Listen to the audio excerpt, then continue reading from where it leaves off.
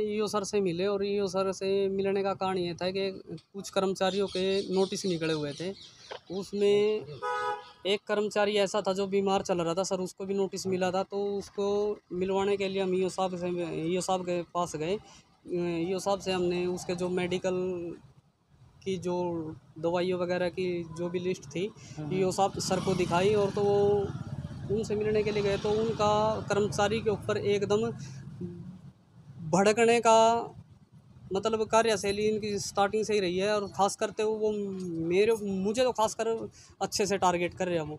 Election के time duty लगी हुई थी सर हमारी नेहरू स्टेडियम में तो उस टाइम एस डी एम साहिबा को मैं खाने के लिए, वो समोसा देने के लिए गया था। सर उसमें चम्मच रखनी मैं भूल गया था तो यो सर उस टाइम भी मेरे से बोले, गुंडा है, बदमाश है, कुछ इस तरीके का रवैया उसी टाइम से मेरे साथ यो सर अपना रहे हैं जी। और मैंने यो सर से रिक्वेस्ट करी, सर, मैं आपको कहाँ से गुंडा नज़र आ रहा हूँ, कहाँ से बदमाश नज़र आ रहा हूँ, सर? वो बोलते हैं, बहुत ज़्यादा बोलते हैं। तो आज भी मिले हैं तो आज भी उनका यही रवैया रहा है, और इससे पहले तेल साबुन के लिए कर्मचारियों को जो तेल साबुन मिलना था, नौ महीने से पेंडिंग पड़ा था, सर, उसके लिए भी मिले तो उसमें भी ईओ साहब ने इसी प्रकार का व्यवहार रखा। मेरे मेरे साथ नहीं लगभग लगभग जो भी कर्मचारी मिलने के लिए जाता है खासकर तो पेरोल वाले कर्मचारियों के साथ तो बिल्कुल ही उनका व्यवहार अभद्र है जी। तो आज डीसी साहब से मिले तो डीसी साहब ने क्या आश्वासन दिया? डीसी साहब ने आश्वासन दिया कि हम ठोस कार्रवाई करेंगे इनके ऊपर जो भी उचित कार्रवाई बनती है। और ये ईओ सर है ना अपनी सीट का दुरुपयोग बहुत कर रहे हैं जी। इन्होंने अपनी सीट का दुरुपयोग किसी किसी बड़े लेवल के आदमी तक का तो ये कर नहीं सकते क्योंकि हम जो नीचे तबके के गरीब तबके के सफ़ाई कर्मचारी हमारे ऊपर तो ये है ना बिल्कुल एक हंटर हंटर हंटर लेके खड़े रहते हैं हर टाइम मान लो वर्दी जूते को लेके मिलते हैं तो उसके लिए वर्दी जूते को लेके मिलते हैं तो उसके लिए भी मतलब इनका बोलने का नज़रिया कुछ ऐसा रहता है जैसे मतलब इन्होंने अपने घर से देना हमें।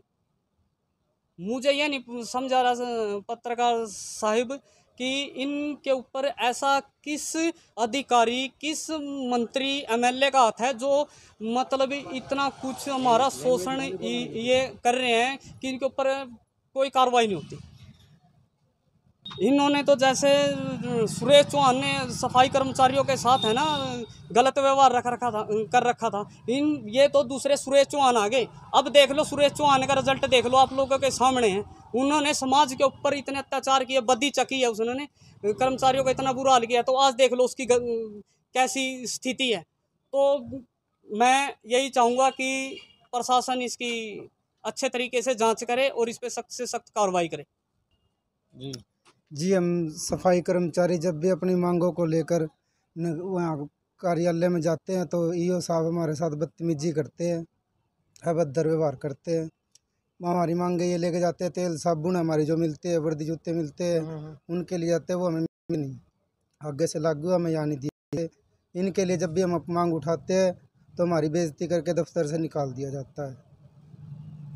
हम प्रशासन से मांग करना चाहते हैं कि जो हमारे अधिकारियों से जो हमारी वर्दी तेल साहब बना ये हमारी सैलरी में ही ऐड किए जाए। क्यों? हमें बार बार आने में परेशानी भी नहीं होगी, नो, ना इनको होगी।